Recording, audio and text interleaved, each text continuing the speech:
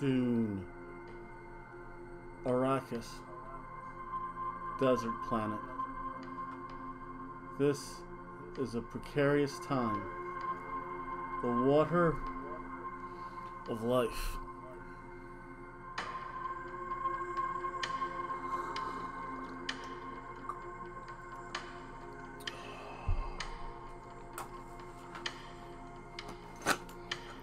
Long live the fighters! I wish. But yeah. Hello, folks. Welcome back. From the one. This is a darn big knife. A better knife than, I don't know. Better knife than what they use in the movies. That's right, folks. Again, kids don't play with knives. Yes, for I'm the one. It's my boat survival knife. I'm the one, the only. I am Ho Bo Tom. Yes, now I am fully revealed to be who I am. And you know what? This is the rare movie review. Yes, I just came back from watching Dune Part 2. And wow. Because here's my ticket. Yep, you can all see CMX luxury theaters. My movie ticket. I'll tell you what. This Water of Life was probably more potent than what they had in the movies. But yeah, that disappointed. Um, very quickly, this video's gonna have a couple points. You know what? So let's get to the good footage. Check out me on my journey to the movie theater. Hello, folks. Welcome back.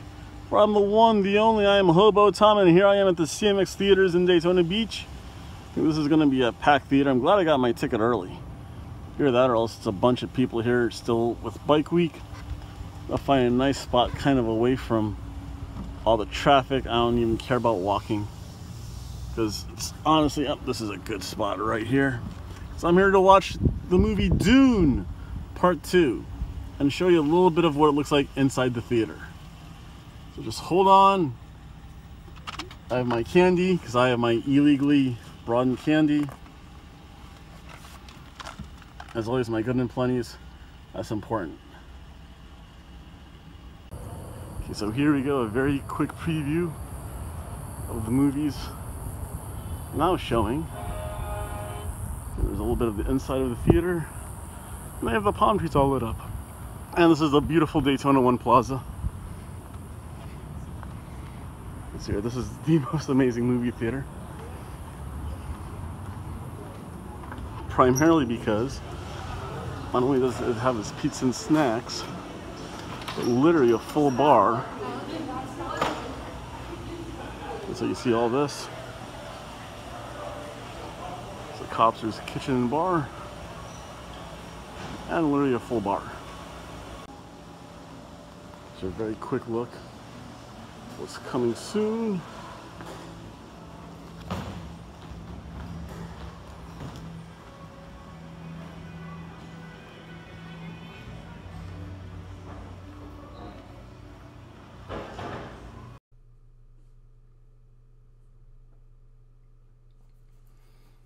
Yes. Nice, nice kind drive. Check out the theater itself.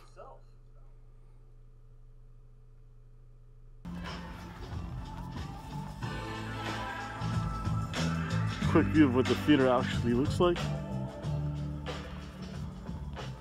My seat's up there somewhere. Now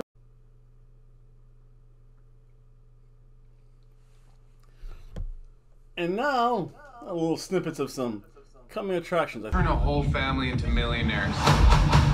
Should have a fashion line, a foundation were incredible today. Thank you. I mean, it wasn't even like tennis. It was an entirely different game. They called themselves Ghostbusters. According to these hacks, they saved the world. No eyewitnesses. And who is found to carry the torch? The sen-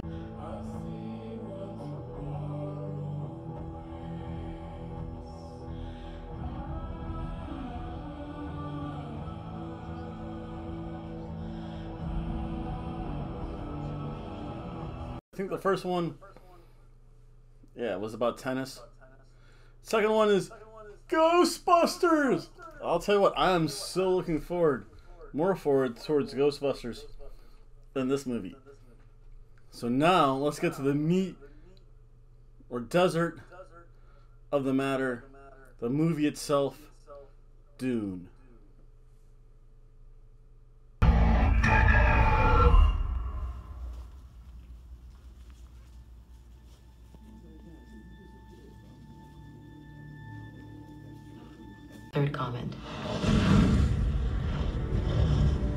The battle for Arrakis took everyone by surprise.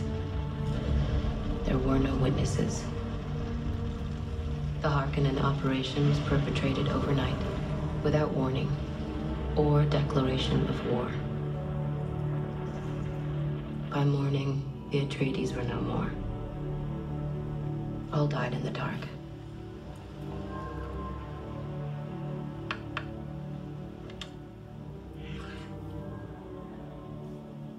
And the Emperor said nothing.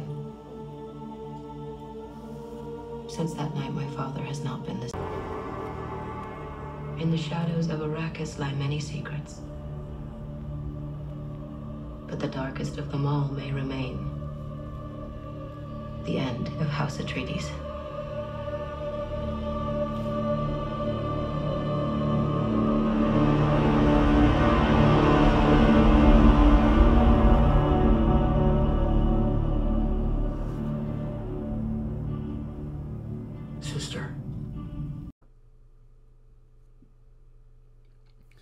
This is a very quick snippet. Again, free use policy, and I'm allowed to do that on YouTube, mainly because, well, yeah, if you show 30 seconds as a review, you can tell people kind of what you're doing, and you set the stage for things.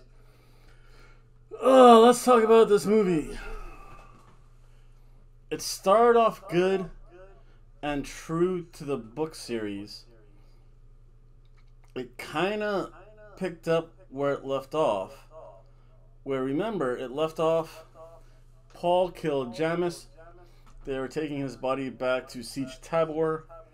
Um, they pick this up. They pick it up right there. They're being ambushed by the Harkonnens. You see the body. All the Harkonnens are there. I do like the fact that they went. They harkened back. Yeah, harken Harkonnen they harkened back to the original 1984 version where the Harkonnens were all in kind of like black suits. So I do appreciate that.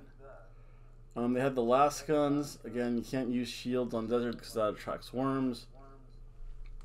And they use the big either knives or short swords, depending what you call them um, Gladius style sword or Viking Ulfberht, I think sword. It's known as. But yeah, so it starts off there, and it goes a little bit back and forth. Another thing I liked is that they harken back to the diaries of Princess Irulan, um, the year 10.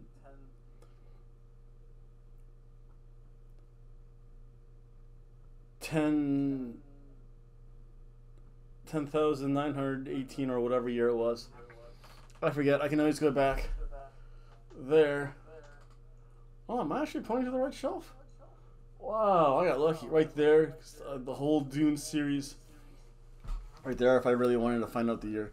Yeah, they kind of did that, which again harkens back, Harkonnen, harkens back to the original movie, which is pretty cool. Because if you remember, in the extended cut, you have Princess Irulan um, I think they showed her kind of shadow casted, and of course the voice saying, "In the year, whatever, uh, great houses. This is their story." So it's again, it was pretty cool. She's playing there. Christopher Walken looks like a good emperor. Nowhere nearly as imposing though as Jose Ferrer. Um, man, I hate to say it, but Christopher Walken's getting old. He looks like an older emperor. Um, so goes through whole, all that, uh, all Paul's training. He gets introduced to the sietch, he learns the ways of the desert. His mother becomes the Reverend Mother after drinking the water of life. And the mother really sets, again, the tone of this movie because they have the entire Bene Gesserit um, lore, um, how they seeded various populations with a religion um, in order to control it. I know it's called something in the books. I forget honestly what it's called. I forget what it's called, and I'll have to look it up later. I know there's a very specific term Frank Herbert in his books use to call that. Um, again, based on the Orange Catholic Bible. And these are the Zen Zensunni people, um, which is an offshoot of the Buddislamic religion. And that happens 10, 10,000, I'll say 11,000 years in the future. Uh, there, there's a little back and forth. You see the beginning of Feyd-Rautha. I do like this Feyd-Rautha. I didn't think I would like him as a character, because mainly I'm used to Sting, the musician, not Sting, but yeah, Sting, the musician from the police. Was he with the police? I forget now. I think so. To do some research on that. But Sting, the musician, again, he was the original Feyd-Rautha. This one was kind of meaner, more sadistic, more in line with the book. They did mention again he had his gladiatorial fights. They did not drug the one Atreides. Said, hey, the Baron said, you know what? This means this means you're the man. So you kill an undrugged slave, an un- undrugged Atreides, which again they do again mention in the books.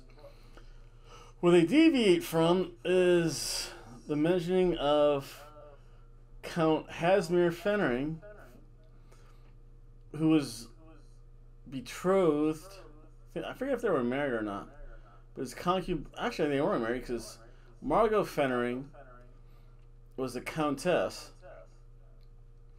and for some reason she sleeps with Feyd-Rautha and conceives a daughter. I know that Bene Gesserits they can control body metabolism and all that, and they talked all about the weakness. Again, they don't get into that in the original. Um, when you get into the book the sisterhood of Dune, and what's the other one? Hunters, Sandworms, The Road, House Corrino. Yeah, in, in one of the books, I think it was the Sisterhood of Dune, and a little bit to the Duke of Caladan. they get into a little bit of manipulation of men and how they've mastered and how they uh, do all the bloodline stuff and how it's all the training from Wallach 9, which is the Bene Gesserit home planet, which was not mentioned in this movie. Again, kind of disappointing because I forget if Wallach 9 was mentioned in the first film or in the book. Again, I'd have to go back to that yeah, so they get into that. Um, they keep Rabban on Dune for a while. He does have to fight the Fremen, of course. Paul Muad'Dib takes control of the Fremen forces, leads the rebellion against the beast Rabban, who Bautista does an amazing job with. I think all the Harkonnens are pretty well depicted for what they are and or should be. Again, Baron Harkonnen was great. He had his uh, whole medical thing hooked up to him this time. A little bit different. Uh, so Rabban loses control. The Baron, Baron Vladimir Harkonnen himself removes him from control, puts uh, Rautha. Feyd-Rautha says, you know what, we're just going to use good old fashioned artillery. We're going to bomb the heck out of people. The Baron appreciates that. Um, Rabban has to kiss the foot of Feyd-Rautha, which I don't think ever happened in the book. Rabban was more of a badass and just really more sadistic, openly sadistic than Feyd-Rautha was. Uh, what else? Then, of course, Paul goes to the south where he has the, the visions of him leading an army and people starving. I hope there's not a third movie. There's been teases of it. Based on this movie and this movie's reviews, there probably won't be. Mainly because it like I heard people saying this movie sucked, and trust me, the movie theater I went to was like empty. I was the only one there. In fact, if I brought my girlfriend, me going down on her would probably been the most entertaining part of that whole movie process. Besides watching the Ghostbusters trailer. Um, what else?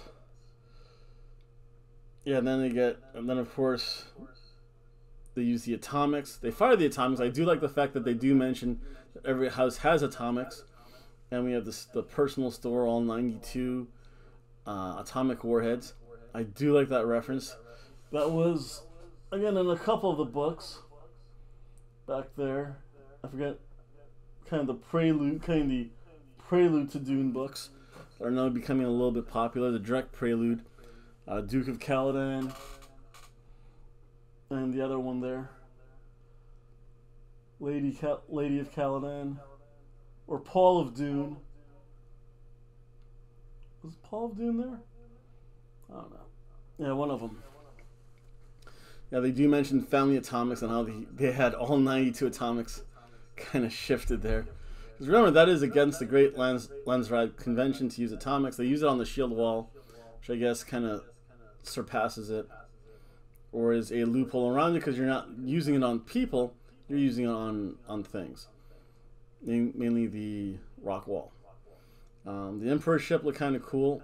Again, you can see the sandstorm battering the shields. Kind of nice effect. Christopher Walken, he's just old. Did not make a good looking emperor. I do like the look of Irulan, his daughter. That was pretty close to the original 1984 version. The blonde, shortcut uh, pixie hair. Her with all the metal chain link was, was I guess, appropriate. Uh, the Sardaukar were there with long swords protecting the Emperor. Paul shows up, demands left of the Emperor. He and Phaedra with the fight. Paul says, you know what, call them off. And what I didn't like necessarily was the fight scene between and and things leading up to it. Again, Paul drinks the water of life just like I did. Um, he drinks some of the water of life along with the Chani's tear that revives him. It was okay. I mean, I could understand it, and it did bring things together. I don't remember reading about that in the book per se.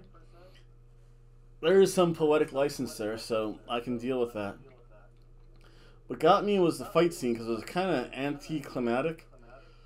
They say in a knife fight, someone dies and then the other person normally goes to the hospital. So Paul gets stabbed by his own blade by Feyd-Rautha. Um, Feyd-Rautha, again, it's not a mortal wound. It's kind of in the side. So again, kind of misses all vital stuff.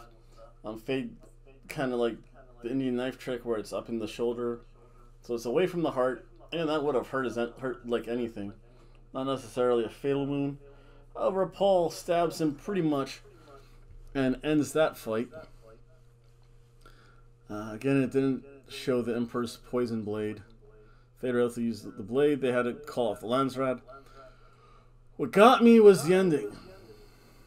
And it was kind of disappointing in the fact that it ended the way it began through the eyes of Chani. Because after the fight, again, Princess Irulan says, Yes, marry me, you get the throne. And I know the Emperor eventually goes into exile on Salusa Secundus, which is kind of like the Imperial prison planet. And Chani just left. And I was waiting for the line from the mother saying that Irulan will never know his tenderness. It's always, and it's something to the effect that Irulan will never know his tenderness, but the concubines get get all the nookie.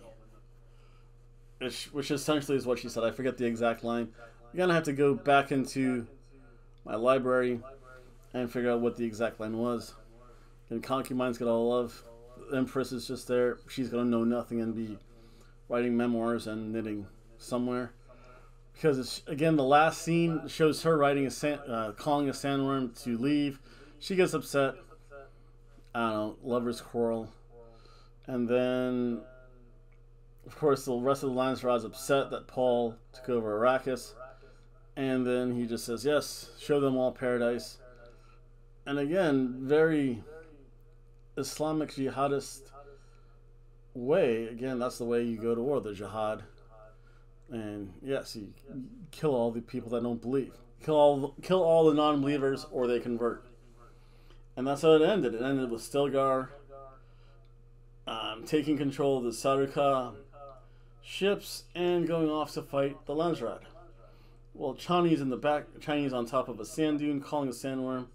She is the jilted lover. And that's the way it ended. And I'm like, no. Alia wasn't born yet. Um, Paul's mother was still pregnant. I think in the books, I know in the movie Alia was born. In the books, uh, Saint Alia of the Knife, because she actually does kill Baron Vladimir Harkonnen. In the books, not Paul. I don't know if they don't want kids committing murder. Maybe being in the 80s was just being cool. I don't know. You could get away with a lot. You could get away, get away with a lot more in the 80s and 90s. Who knows? But for the most part, that's Dune. Um, kind of disappointing. It was, I think the movie started at 9. started fairly promptly, a whole bunch of previews. Went to 11.50, so it's almost, say, two and three quarter hours, two hours, 40 minutes, something along the line. Um, I'll tell you what. I hate to do it, guys. This was a can of soup movie.